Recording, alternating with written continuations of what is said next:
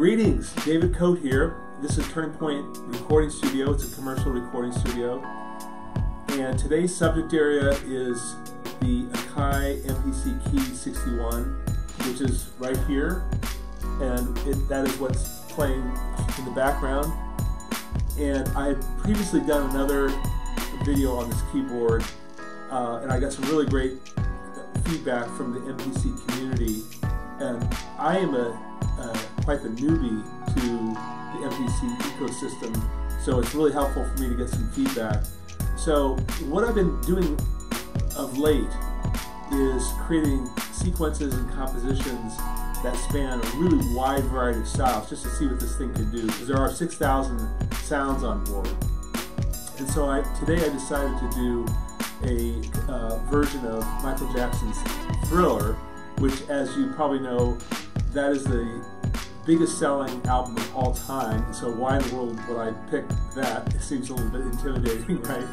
But the point I was I'm going for today is to see how quickly I could put something together uh, without spending a lot of time on it, and but yet have it be fairly credible. So that's what we're going to embark on today. And so fasten your seatbelts. Here we go. I, I will say that it's a, it's a short video and I will have some comments about some of the pros and cons of the keyboard at the, at the end. So here we go.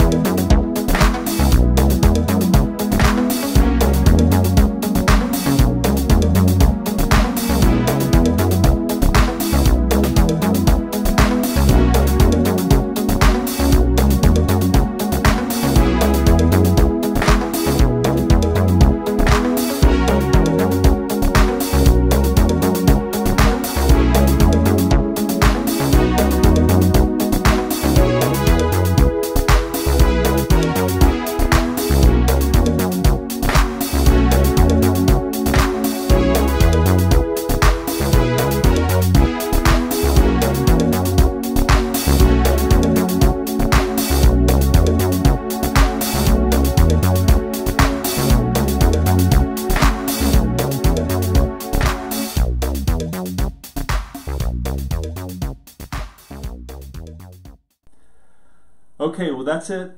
Uh, very short and sweet, but I think this keyboard did a great job of capturing the vibe of of Thriller, and it kind of makes sense too, right? Because MPC is the uh, descendant of the ancestor of the Linn Drum Machine, which was what that album was done on, particularly that song, and so it kind of makes sense that it would be able to find uh, the the right sounds for that vibe. And I, I was able to do that rather quickly. I think I, I spent maybe an hour uh, creating this this sequence. Uh, a lot of the time uh, was spent in finding the, the sounds themselves, as opposed to actually playing playing it. You know, because the parts are pretty simple.